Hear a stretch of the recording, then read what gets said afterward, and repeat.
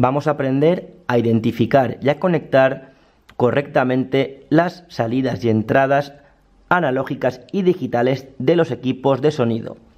Para ello nos hemos traído aquí un reproductor de compact disc que también es reproductor de DVD y si nos fijamos tiene dos tipos de salidas de audio. Dispone de una salida analógica correspondiente a estos dos RCAs rojo y blanco y luego tiene una salida de audio digital llamada Digital Audio Out coaxial aquí en naranja. ¿Cuál es la diferencia entre estos dos tipos de salidas? Pues muy sencillo, como vemos, en analógico necesitamos siempre un conector y un cable diferente para cada canal. Por ejemplo, si ponemos un compact disc que tiene dos canales, necesitamos un RCA para el canal derecho, mix right, en rojo, y otro para el canal izquierdo, mix left, aquí en blanco. Mientras que en la salida digital, un solo y único cable coaxial con conector RCA puede transportar esos dos canales L y R al mismo tiempo. Es más, como veremos en otro vídeo, si conectamos un DVD que tiene 6 canales, ya que es 5.1, por esta única salida van a salir los 6 canales a la vez. Por tanto, si lo conectamos a una barra de sonido o a un amplificador que tenga decodificación Dolby Digital 5.1 podremos escuchar todos esos canales y cada uno su correspondiente altavoz. Eso lo veremos en el siguiente vídeo. Por tanto, vamos a empezar diferenciando estas salidas conectando, por ejemplo, la salida right mediante este RCA convencional, eh, muy económico, a una entrada analógica de, por ejemplo, esta mesa de mezclas. Por ejemplo, vamos a ponerlo en la entrada to track in L. Y si nos fijamos, podemos darnos cuenta de que solo tenemos un canal, en este caso es la melodía del compact disc. Si ahora conectamos este RCA en el otro canal, podemos ver que ya no tenemos la melodía, que la hemos perdido, y solamente tenemos ahora la base rítmica. Por tanto, por este único RCA, este cable, solamente viaja una señal analógica. Por tanto, si queremos los dos canales, necesitamos dos RCAs y dos salidas. Una salida left, izquierda y otra salida diferente derecha. Sin embargo, vamos a ver que en digital todo cambia. Fijémonos, si ahora tomamos la salida RCA coaxial, que tenemos aquí en naranja y le ponemos este mismo cable, este mismo cable con conector RCA, ahora lo podemos llevar a una entrada digital y transportará los dos canales izquierdo y derecho.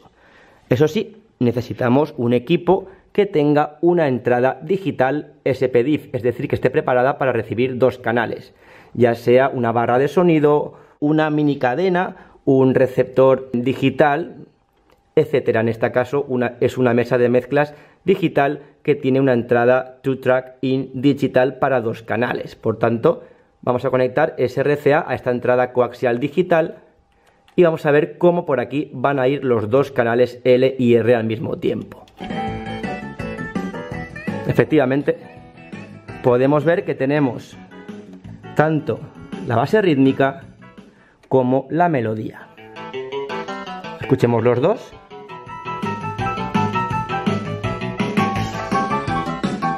Por tanto, este único cable ha transportado dos canales solamente por haber, haberlo conectado en la salida digital y conectarlo a la entrada digital.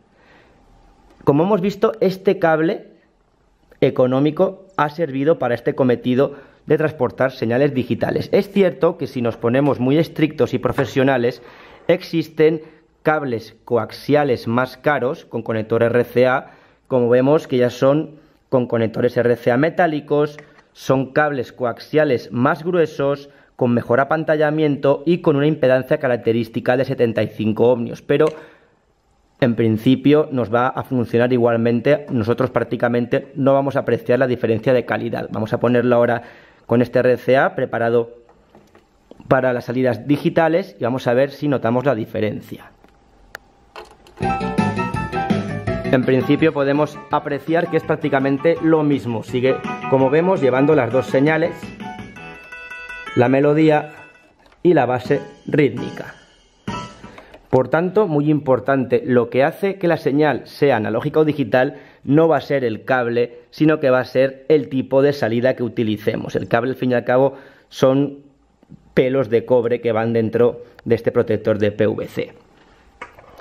Además, como hemos dicho, si ahora en vez de utilizar la salida digital para transportar un compact disc, la utilizamos para llevar la señal 5.1 de un DVD, ya no nos valdría conectarla aquí, porque esto es una entrada SPDIF de dos canales, sino que necesitaríamos un decodificador Dolby Digital 5.1, por ejemplo una barra de sonido, para poder separar e interpretar esos 5.1 canales. En este caso tenemos aquí este receptor decodificador Yamaha que puede decodificar este Dolby digital y por tanto, esto lo veremos en el siguiente vídeo, podría llevar ya esos canales por separado, ya que veremos que tiene entradas coaxiales y entradas ópticas digitales 5.1. Eso lo veremos, como hemos dicho, en el siguiente vídeo.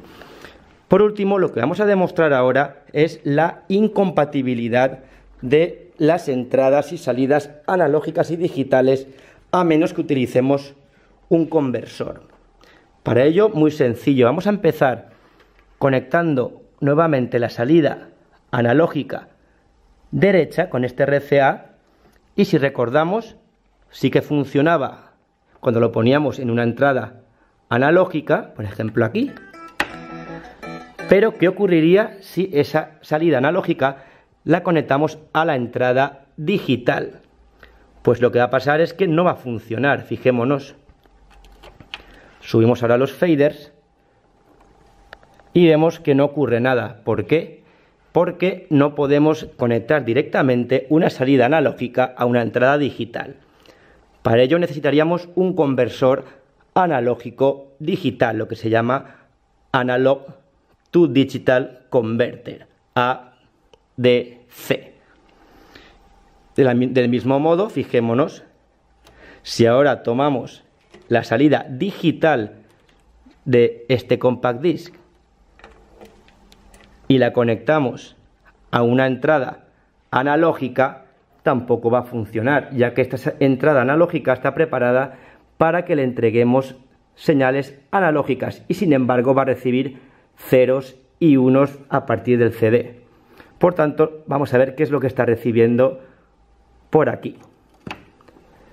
Vamos a darle un poquito más de ganancia. Le subimos el fader y vemos que es prácticamente ruido lo que está recibiendo. Claro, está recibiendo por aquí ruido de ceros y unos que no sabe interpretar. Si nosotros quisiéramos conectar la salida digital directamente a una entrada analógica, necesitaríamos otro conversor. En este caso el conversor se llama conversor digital analógico o conversor DAC, Digital to Analog Converter, que hemos explicado en otro vídeo. Por tanto, para acabar, lo que vamos a hacer en el siguiente vídeo es conectar la salida digital pero utilizándola con un DVD para transportar nada más y nada menos que 5.1 canales.